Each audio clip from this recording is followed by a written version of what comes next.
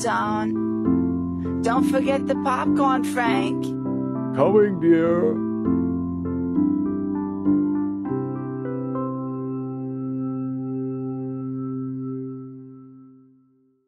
So, isn't that amazing? um, I, I, I had first seen that presentation. I just said, it's just so important that people know all of this stuff. And by the way, I know in, in, the, uh, in the handouts that you've got, I think you also have a page that gives you our YouTube channel. Um, with this program, we're, we, you know, we're, we're, taping it, and we're hoping it'll be on Framingham Cable, maybe even on Ashland Cable. Um, but in addition to that, we've, I have a YouTube channel now. Where we're uploading all of these programs that I do onto the YouTube channel so that you can go back and watch it. Or if you know somebody that is interested in these issues, just tell them about it so they'll be able to see the show. So I asked Steve Greenberg to come to talk about reverse mortgages. The rules regarding reverse mortgages just changed a lot. So some of the things that you thought you may have known about reverse mortgages have just changed. Um, they, once again, they are an important alternative. I've, you know, I, what my, my suggestions to people when I talk about reverse mortgages is do them as late as possible in life because the older you are, the more you can borrow, basically, the more you can, you can make available to yourself through the reverse mortgage.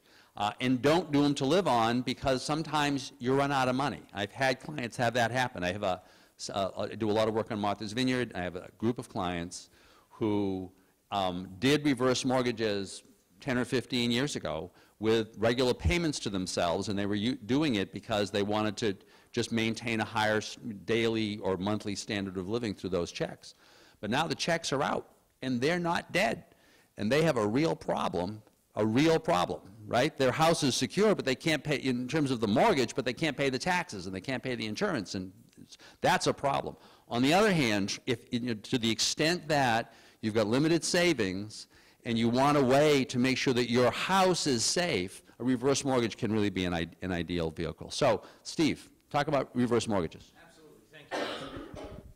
So let me get my logistics set here for a second. Which, uh, this is where I'm using the phone. That's there. forward. There oh, we go. That's forward. Sorry, sorry, sorry, sorry, sorry, sorry. So that's That's forward. He's bringing me backwards. So I, I guess I'm reverse anyway. So. For reference, reference purposes, we got a house, we got an IRA, we got a bank account, total values. You got Frank and Mary who are living on those assets, and the question is, do you need a reverse form?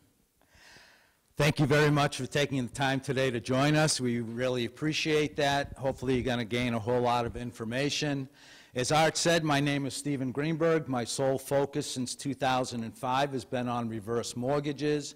I first started with Bank of New York, then went to MetLife Bank. Currently, I'm with iReverse Home Loans, which is a subsidiary of Hopkins Federal Savings Bank, and I run an individual branch out of Worcester. So what, you know, we have a whole lot to cover today. As Art said, there have been some recent changes. What I'm going to do is, you know, give you a good highlight, a good overview of the program and how it works. I encourage you to write down any questions that you have, and after this, I'll be certainly available to answer those questions for you. So we'll start right from the beginning and say, what the heck is a HECM? A HECM is a home equity conversion mortgage home equity conversion mortgage. And that is the reverse mortgage that is federally regulated and federally insured. It is regulated by HUD and it's insured by FHA. What, the, what a HECM allows you to do, it, it allows you to reside in your home. It's a program for folks that are 62 and over, and allows you to access a portion of the value of your home in order to maintain your life there in order to stay put, as I like to say. A lot of us just want to do that.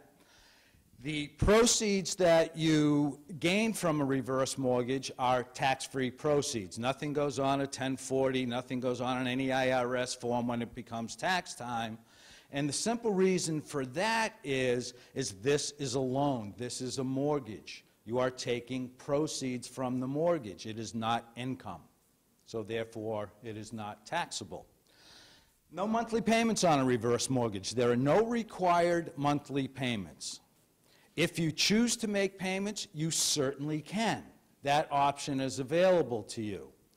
But um, no required payments at all. The interest on a reverse mortgage, the interest deduction, you know, those of you that are still carrying a conventional mortgage or had in the past, you know that on a yearly basis, you get to deduct your um, interest on that mortgage.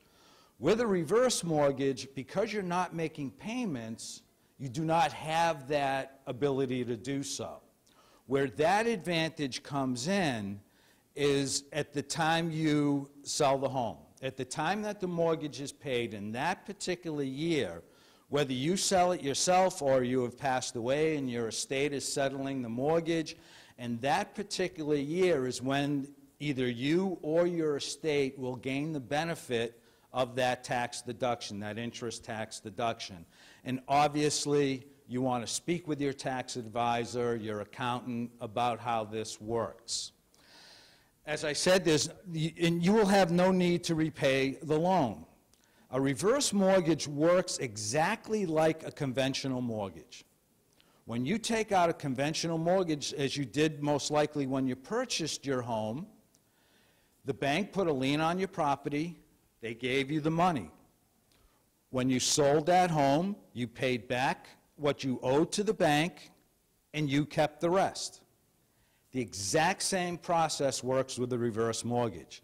The bank is going to put a lien on your property, give you access to the dollars. At your demise or when you sell the home is when it gets paid back. Living in place. We all know the buzzwords aging in place. It is what has become the norm. Um, I prefer to put a little twist on it because I like to live. We all want to live in place. None of us want to kind of sit home and sit in a chair and age a little bit. We want to live there. And this is just another way of doing it. And if we look at things in various studies, upwards of 85% of us want to do just that, want to stay put. Like Frank and Mary, the vast majority of us have limited resources to do so. And with those limited resources, we have the difficulties of paying taxes, paying insurance, if we need to bring in supportive services into the home, whether it be you know, social type services, whether it be medical type services. Um, and there's always the reluctance to, to tap home equity in order to pay for this. The good news, and I'm going to bring it back to the top, is we're living longer. At the turn of the, of the 20th century, I have to get my centuries correct here, in the early 1900s, the average lifespan was, believe it or not, only 49 years. We take a look at today, and long gone are the days when we retired at 62 and we passed away at 62 in a day. We all grew up hearing those stories. These days, we can spend 30 years in retirement. So the bad news to all this is that we're all living longer. Living longer, there's a cost to doing that. There's the assisted living, nursing homes, if, we if you decide to move in with family, or if you decide to stay put, there's a cost in doing that. So the question becomes, and what we're trying to answer and give you a few options on today is, how do I pay for that? How do I maintain that so I can stay at home and live in place? What can the money be used for? It can really be used for anything that you want. It's your money. There are no restrictions put upon how you can use the money. One of the most popular things is to retire your conventional mortgage. The, the difference between having a comfortable retirement and an uncomfortable retirement is not thousands of dollars per month. It's hundreds of dollars per month. Maybe 500, maybe 400, maybe 800. It's not thousands of dollars per month. So one strategy is by using the reverse mortgage to pay off your conventional mortgage, what you're doing is instead of sending that payment to the bank every month, that payment's now staying in your pocket. So now life has become a little bit easier.